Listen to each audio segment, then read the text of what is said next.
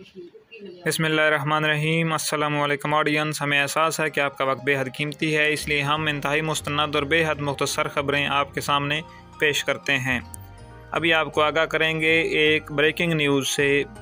हुकूमत ने मौसम गर्मा की छुट्टियों के दौरान समर कैंप लगाने पर पाबंदी आयद कर दी है।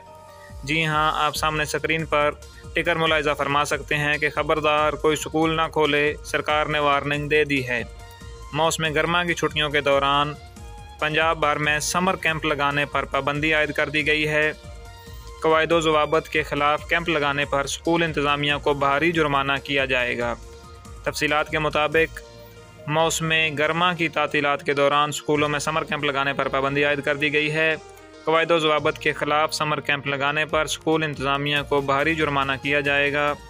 पंजाब भर में गर्मी की छुट्टियों में प्राइवेट स्कूल्स की जानब से समर कैंप लगाए जाते थे। एजुकेशन अथॉरिटी की जानब से समर कैंप लगाने पर पाबंदी आयद कर दी गई है। स्कूलों को समर कैंप लगाने की बिल्कुल भी इजाज़त नहीं होगी। समर कैंप लगाने पर स्कूल इंतज़ामिया को वार्निंग लेटर जारी किया जाएगा। स्कूलों को भारी जुर्माने भी किए जाएँगे। सीईओ एजुकेशन का कहना है कि शदीद गर्मी में किसी भी स्कूल को समर कैंप लगाने की इजाज़त नहीं होगी। समर कैंप लगाने पर मुतलका स्कूल्स के ख़िलाफ़ कार्रवाई भी की जाएगी।